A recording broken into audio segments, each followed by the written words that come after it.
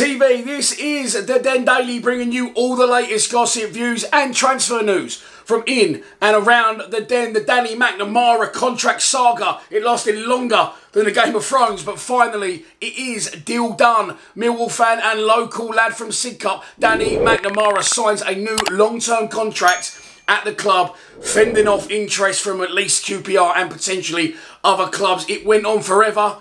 I was always confident he would sign, but the longer it went on, it just got a little bit silly and a little bit strange, and there was a little bit of fucking back and forth. In the end, the club actually saying, you know, we have offered him a good deal and we're waiting for him to sign it. Then they got a bit closer, and as I said, we can all breathe a sigh of relief. He joins Murray Wallace and Billy Mitchell in signing new deals at the club. Brilliant for us. 23 years old, made his debut in 2020, was it? Against Boreham Wood in the FA Cup. Played around 50 games in the first team, scored two goals. But he has gone from strength to strength. I'll be honest, I know he watches sometimes, and uh, you know he's, he's, a fucking he's a top man. But I do feel that his form has been affected by this contract negotiation. So hopefully now we can draw a line under it, and he can go from strength to strength in the first team. The Flying Irishman, of course, with his brilliant performances coming out of nowhere after not really being around the Mill team. As I said, watched him a lot in the 23s, didn't really rate him, but he really has turned into a man and, and he's, he's added a lot to his game. He's brilliant going forward. Final ball sometimes, Dan, if you are watching,